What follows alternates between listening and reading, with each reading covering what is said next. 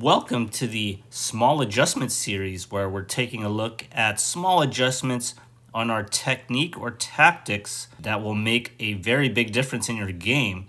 We're looking at the return of serve again and when we want to really attack the serve, right?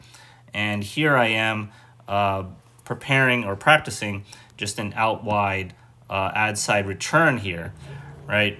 Sometimes on the second serve, on the ad side, returning, I'm looking to blast a forehand just up the line or maybe inside out. Something hard, basically. Something hard where I can use my forehand, right? So um, you could just try to run around it, and there's a couple things that you could do in trying to run around it. So here's one where I do a crossover step, right? So I take one crossover with my right leg and do a mini leap to the left side so that I, I am prepared for that forehand, right? So I'm expecting maybe a, uh, a kick serve, a kick serve to my backhand. So I do this and I'm ready for the forehand, right?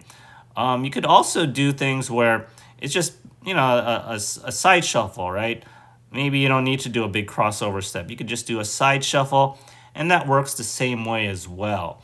So these kind of footwork patterns that, uh, you know, side shuffle or a crossover step, these things can be very effective in running around your backhand to attack that second serve that um, is most likely a topspin kick serve to your backhand or just basically a slice serve to your backhand keep doing this, this could be a very uh, permanent thing in your game where you just keep running around it. Let them go up to the T, right?